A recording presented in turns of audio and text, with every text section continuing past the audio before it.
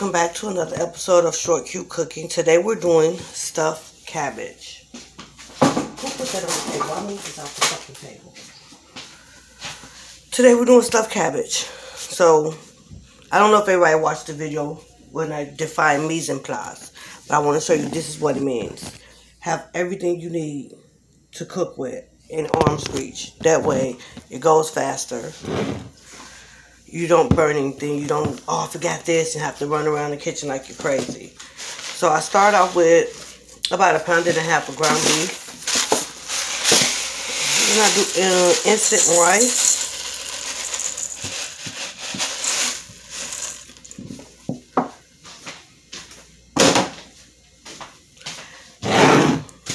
Do about a cup, it's about a, two cups at the most depending on how much you're making.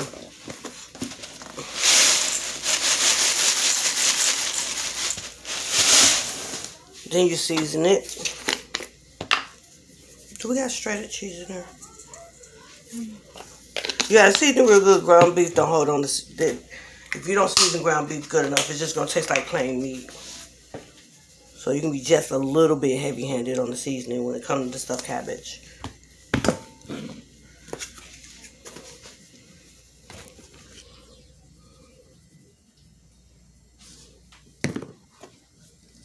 I got some shredded cheese. Because instead of putting it on, I'm going to mix it in with it this time. Then I add chopped bell peppers. And chopped onions.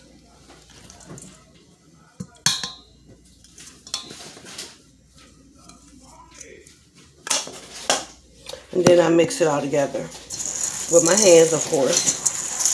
You can't really mix this with a spoon because you want to incorporate everything in, into the meat and you can't do it with a spoon. You only got taco I don't have any, uh, well hand me a couple of those, um, six, I don't have a block of cheese in there. Just hand me a uh, couple of those um, Colby Jacks. That's like two, three Colby, two Colby Jacks and three mozzarellas.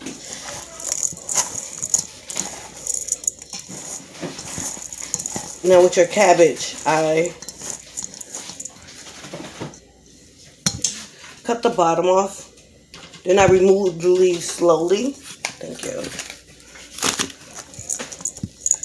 I boil them just a little bit to make them soft because if they're still really hard and crunchy, they're hard to roll.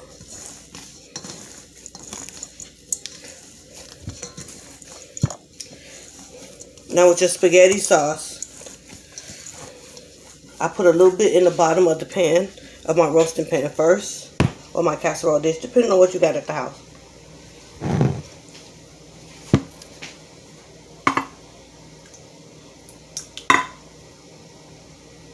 So while you're doing this, you can preheat your oven on 275.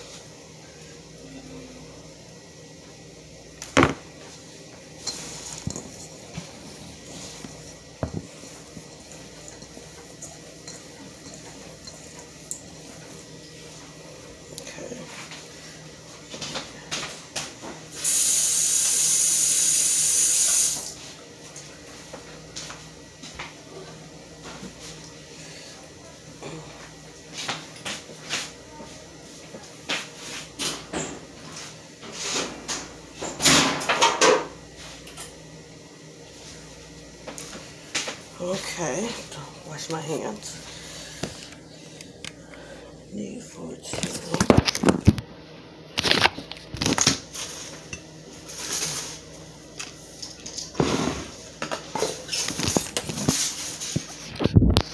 I'm already on a shot. This is how I roll it.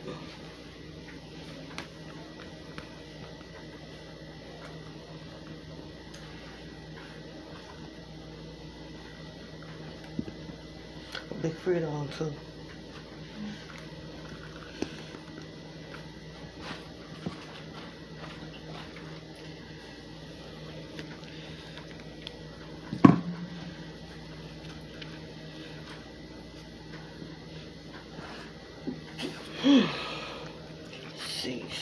One, two, three, four, five, six, seven. So I'm doing eight. This is the rest. This recipe also can go into stuffed peppers. So if you want to make the stuffed bell peppers, use the same recipe.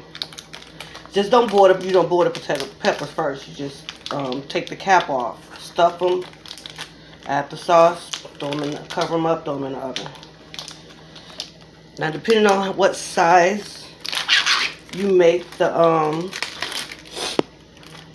the balls that go in this, that goes inside the cabbage. If you're doing them big, they're gonna take about an hour and a half. If you're doing the medium, about an hour. If you're doing a small, takes about 45 minutes. How do you expect kids to get these things open? Jesus, I'm having a hard time. Oh, good. Really? Come on now.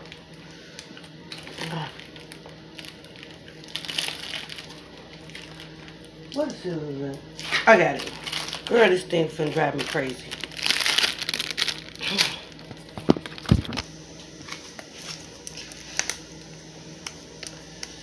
I still want. I put the. I'm gonna put the cheese on the inside of my um, meat before I roll it. Open that. But I always put uh, some extra shredded cheese on top. So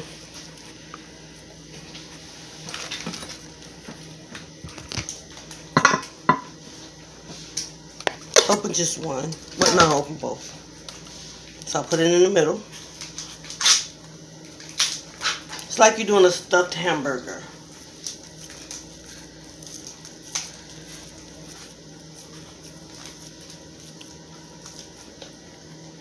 Then you roll it.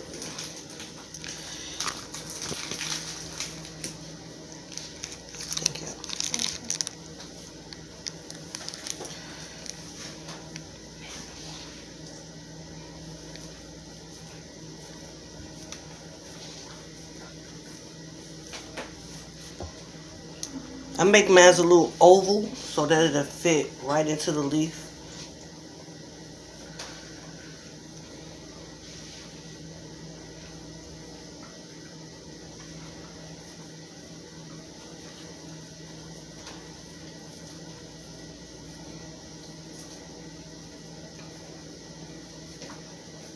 In order for you to make sure the cheese is not going to seep out, because you don't want it to leak out. And if you don't like cheese, you don't have to use cheese.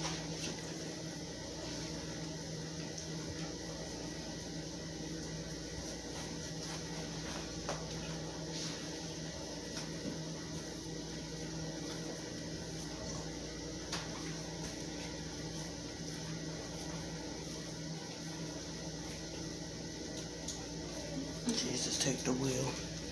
Just take the whole car. Just take the whole car. Alright.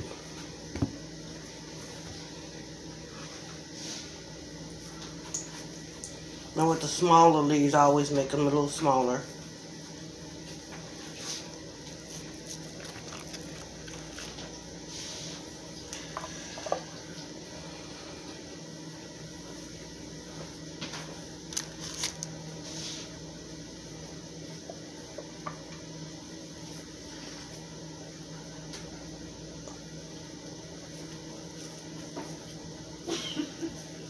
You got little kids that you want to feed this to, just make the balls a little smaller just for them.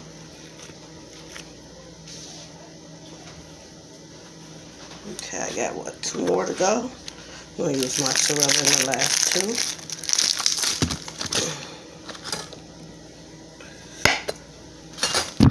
Oh, shoot.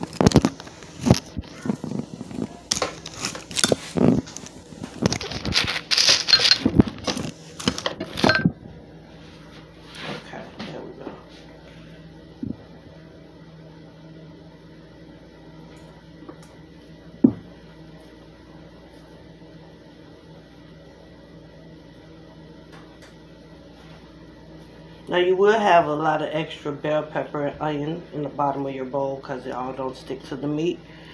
I just throw it on in the um And the last one, which I, I normally always eat the last one because I like bell peppers and onions.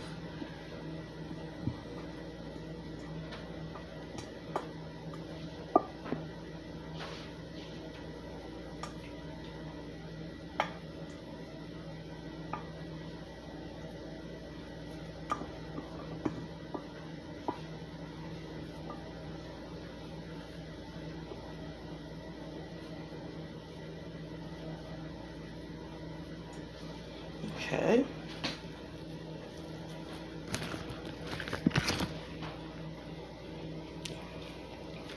Now when I roll it,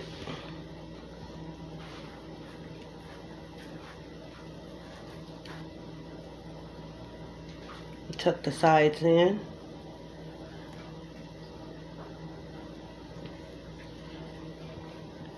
Just like you would do with a burrito, but when you put it in the roasting pan or the baking sheet, casserole dish. Well, not exactly a baking sheet because you got to have the sauce on it. You don't want to use a baking sheet because it'll, it'll um, waste out.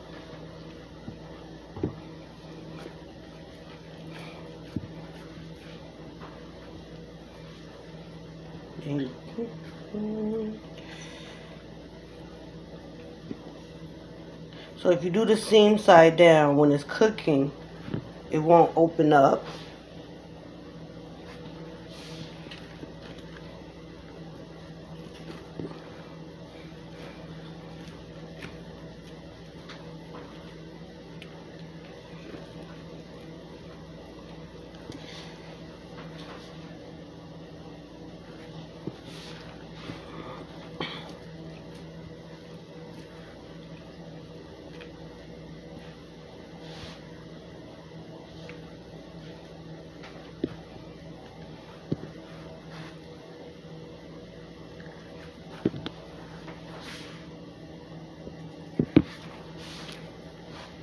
Think I got a big enough dish.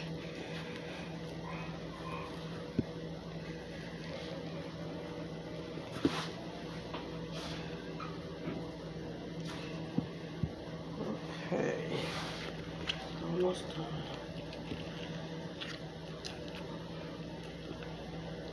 So don't, if it tears, don't worry about it. Just roll it in there.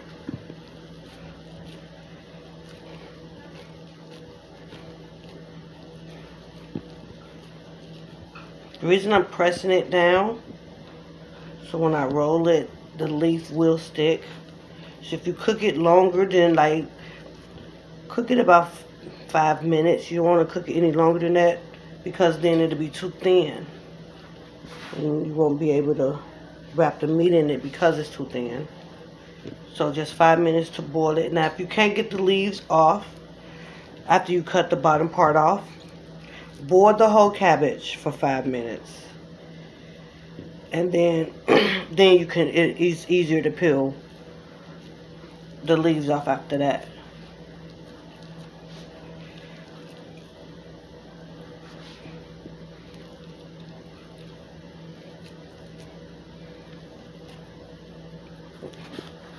It's always the little ones that give me the problems. There we go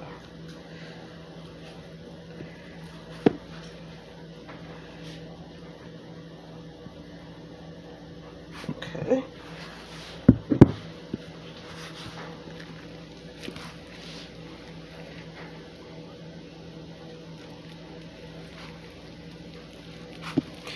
So once you put them all in, cover it with foil.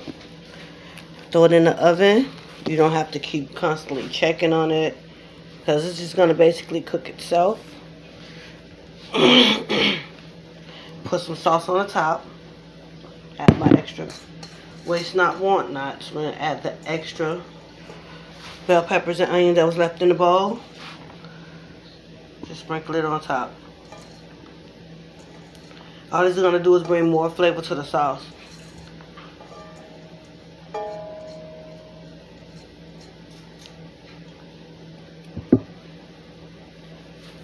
Add some sauce to the top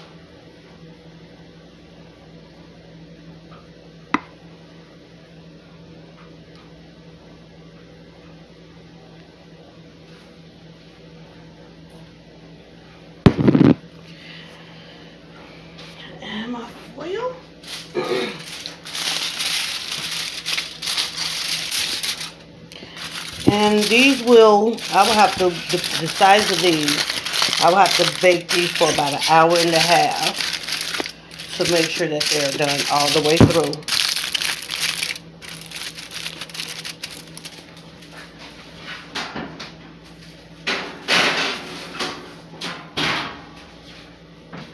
And then you plate and eat. Thank you for joining me on Short Cute Cooking. Keep it short, keep it cute, and keep looking.